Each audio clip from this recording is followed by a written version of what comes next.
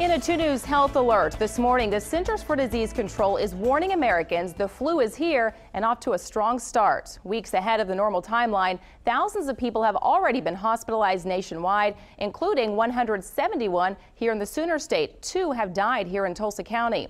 And according to the CDC, it's going to get worse. Get a flu shot. That's the message from health experts at the CDC who say this is the earliest start to a flu season in about a decade. 41 states are reporting widespread flu cases. We know right now through our surveillance systems that more people are going to the doctor and more people are being hospitalized for flu this year than they were last year. The CDC says more than 2,200 people have been hospitalized because of the flu, and 18 children have died. This is um, a group of people, children, who can be particularly vulnerable to influenza, so we strongly recommend that eligible children be vaccinated every year, this year especially so.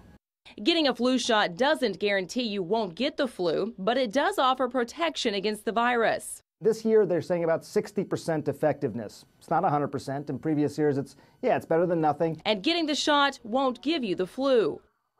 When you get a flu shot, you're getting a dead virus, so it can't give you the flu. But what it's doing is activating your immune system. That's what it's supposed to do. It's teaching your immune system to recognize that virus as a problem. Uh, so when it, if it sees it again, it attacks it. Doctors point out that it takes two weeks for a flu shot to take full effect, so it's important to get vaccinated early in the season.